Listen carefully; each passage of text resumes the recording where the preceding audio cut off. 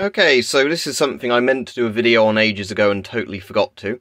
So I got a new one of these little line-in speakers to do it.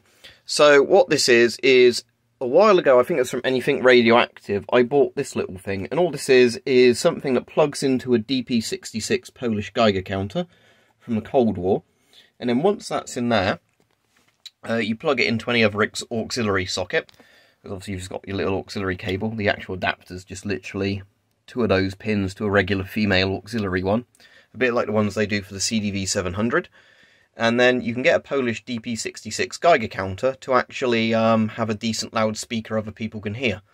Um, so I've got one of these like charge up, you know, little Bluetooth speakers, but I'm using it via the auxiliary, so that'll be loud enough for this. So let's put it from the control um, sort of test mode onto um, 0.5. As you can hear, every time that ticks, you actually get a noise coming out of there.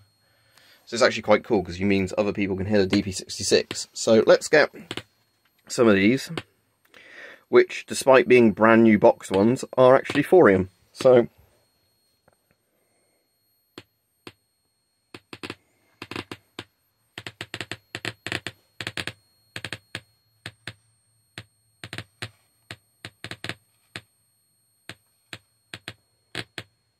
as you can see.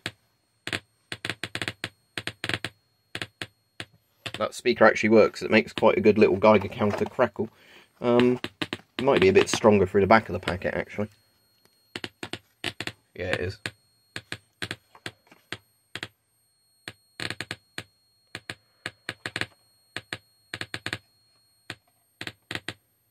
And what I'll do is I'll quickly get another check source so you can hear how loud this actually gets, or the sort of solid tone if you get a really radioactive thing next to it.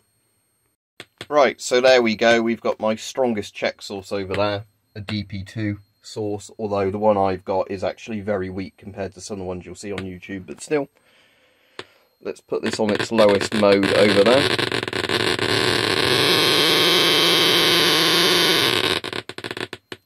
What I'm just going to do is put this up to the highest reading where it will actually get a measurement for it. I'm not sure if this tube picks up beta. No, it doesn't, so I need to go to the uh, 50 milli Rontgen max one. But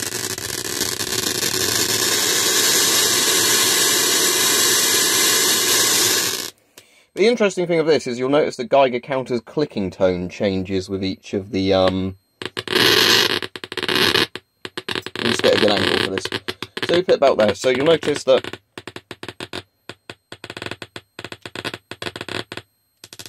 the pitch gets higher with each of the ranges. I don't know if that's deliberate or if that's um.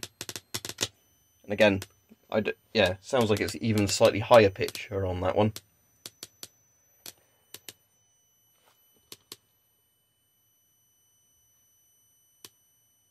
The weird thing is, I think it actually gets a higher reading there because of any braking radiation coming off of that like that. Which should actually be an interesting thing to test. So let's just flip that upside down like that. Put that there. And it's still not any higher.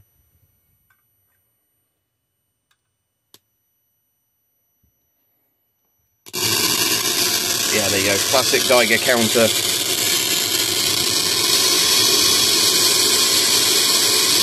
noises. But I do like that beefy clunk you get there.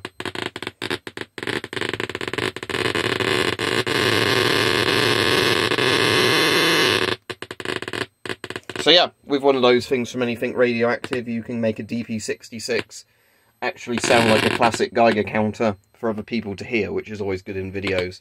Because of the little headphone, people won't be able to hear it.